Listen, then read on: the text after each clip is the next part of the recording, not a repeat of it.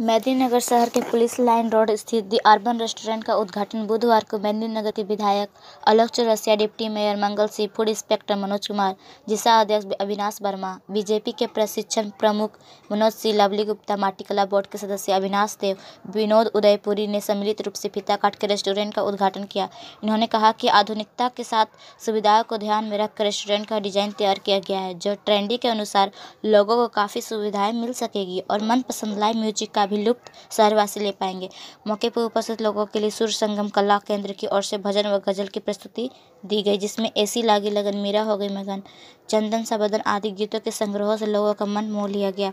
restaurant के proprietor Shrikant Kumar ने अतिथियों का स्वागत करते हुए लोगों को बताया कि वातानुकूलित